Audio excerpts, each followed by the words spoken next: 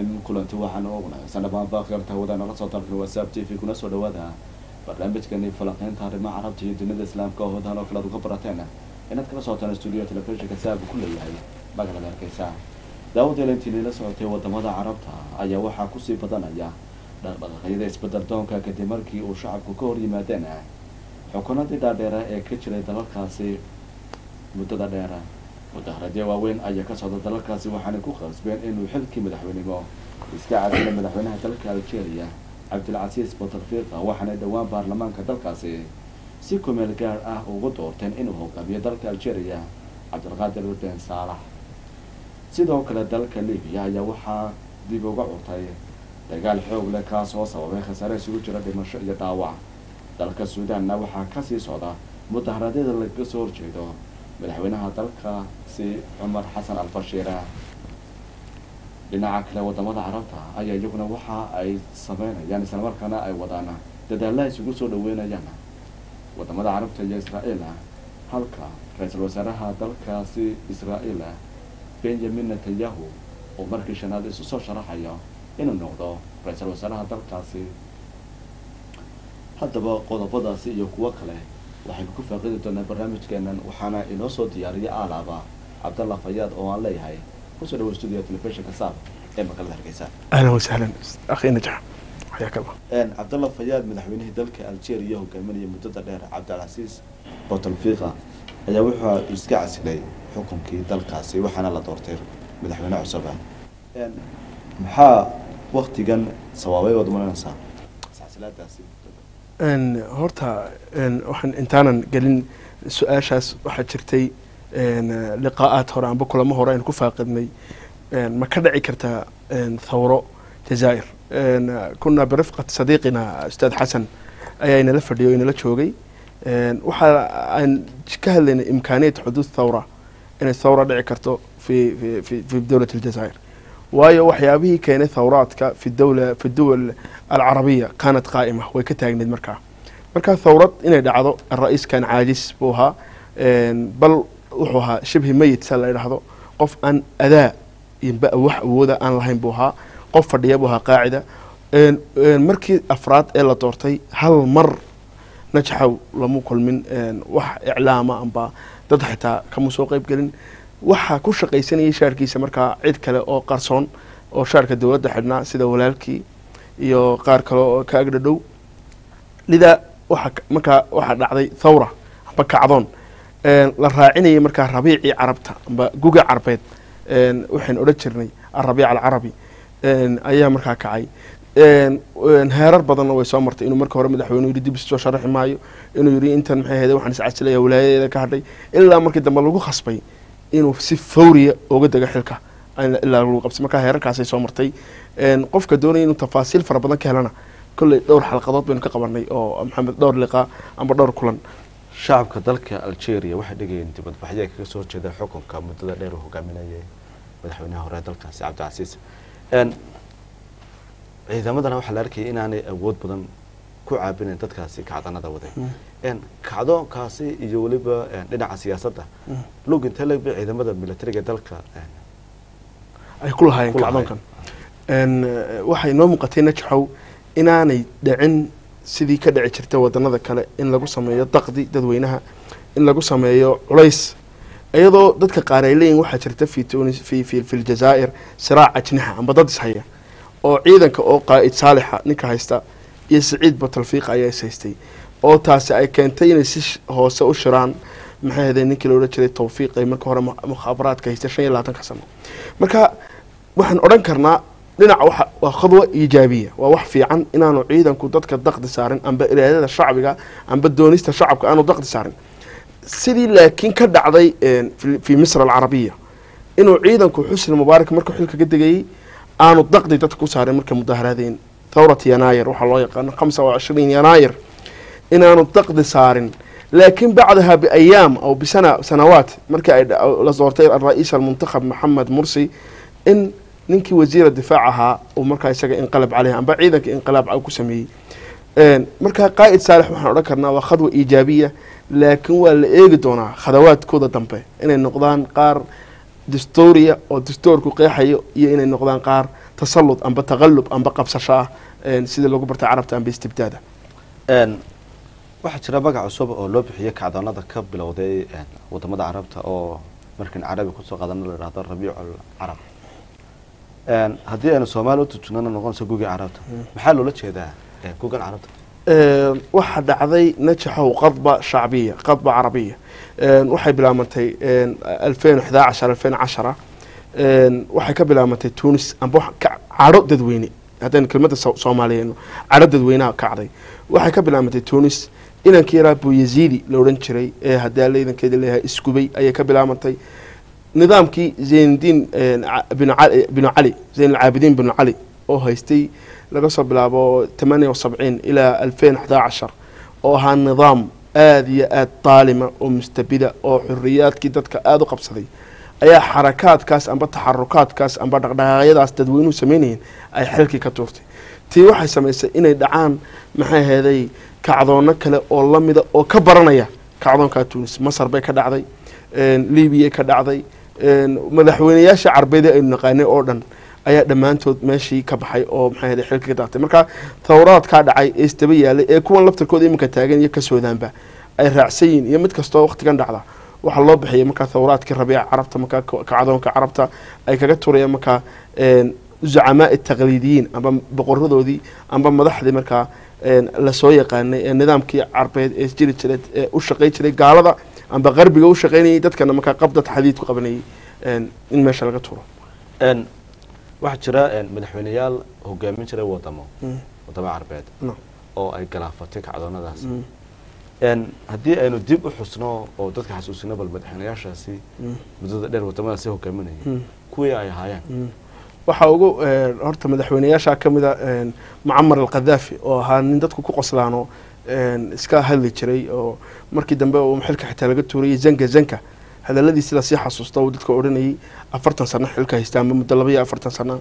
Waxaa ka mid ahaa cali cabdalla saalex oo dadka ku dhadhow iyo ilmada adeerada u yahay maxay haday qabs wadanka siiyey wadanka maxay haday irhaab iyo maxay haday jabahaadka ay ka dhasheen tanmiya aanay ka dhacin wadanka intuu haystay yeman ninka aynu sheegaynay zayn alcaabidiin binu cali baa ka mid ahaa dadka meesha laga tuuray xusni mubaarak oo maxay haday madaxweyne caajis ahaa oo maxay haday hadaladiisana iska maxay haday hadallo la sii yaqaana ahayn aan ahayn ra'iis qawiya oo maxay haday awood fara badan ku fadhiya.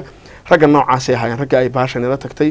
Maanta waxaan joognaa markaa gugii shanaad ama madaxweynihii shanaad baynu odhan karnaa ee laga tuuro oo maxay haday ah cabdilcasiis butalfiiqa oo ay dabeelaha carada leh ee dadweynuhu la tagaan.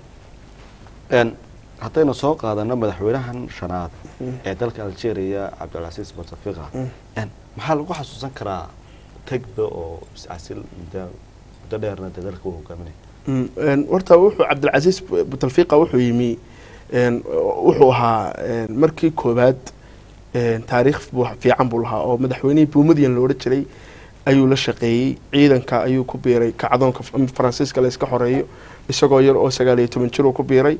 Kadib wasiirka ayuu noqday maxay ahaday dhalinyarada markii dambe xaqiibada khaarijiga ama wasiirka arrimaha dibaddu noqday ilaa markii dambe markuu madaxweynihii hore ka baxay meesha isagana uu ka baxay.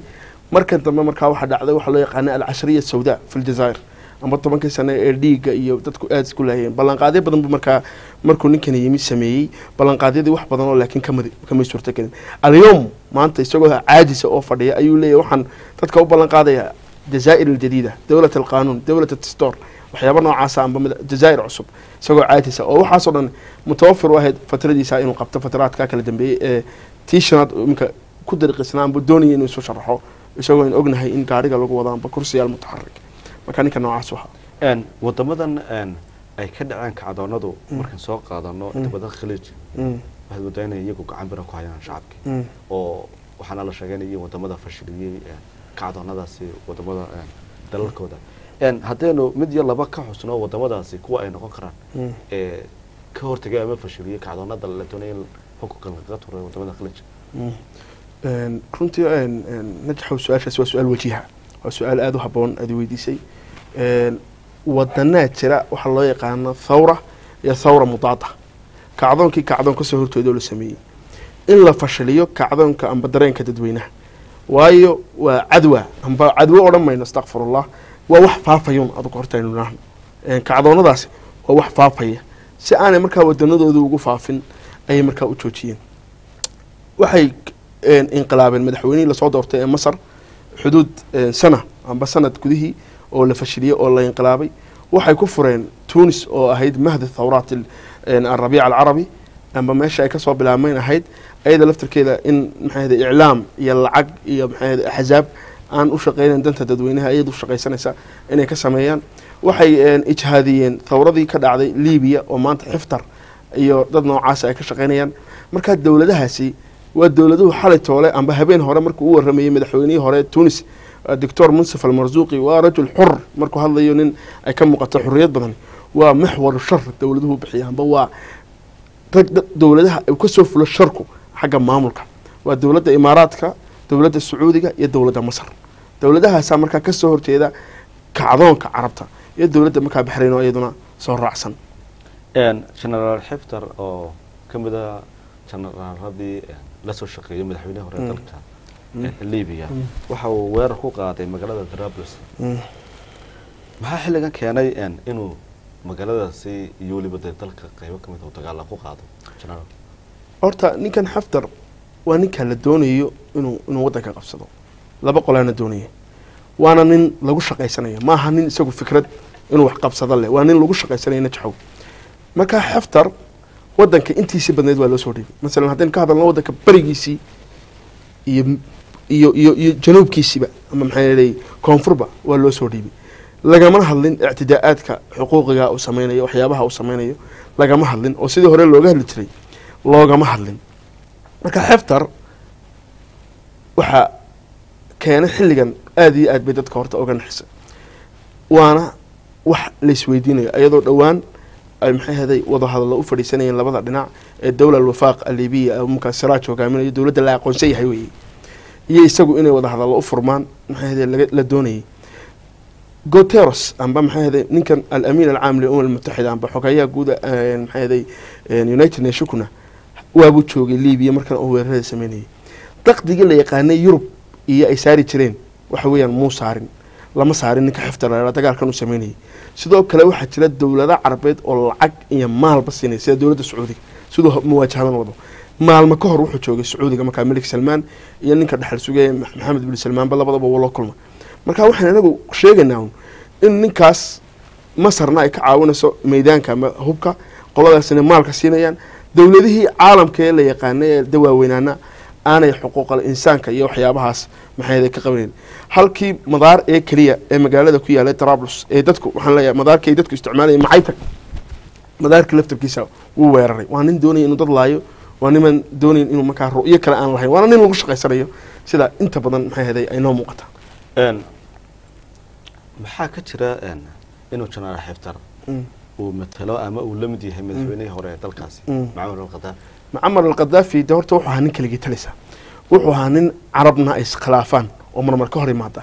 Dhinac maxay haday waan odhan karnaayo? De isaga laftarkiisu tharwada amba hantida libiya leeday. Dagaaladu ku casuumi jiray qaar badan oo ka mid oo iskaga dhaadhici jiray. Wax muslimiintu wax ku qaban jiray. Laakiin maalmintii ugu dambeysay waxaa la arkayay ilaaladii hablaha ahaayee ilaali jiray. Mid ka mida oo ilaalinaysa. Waxay ku wadaagaan inaanay laba ninoo askar ahaayeen waxay ku wadaagaan inaanay laba ninoo maamul ku fiican aanay ahayn waxay wadaagaan inaanay libiya danta danteeda ku hagayn amba qiyaada saalixa ama maamul wanaagsan aanay labaduba ahayn. Waana la isku mitaali karaa marka dhinacyada qaar.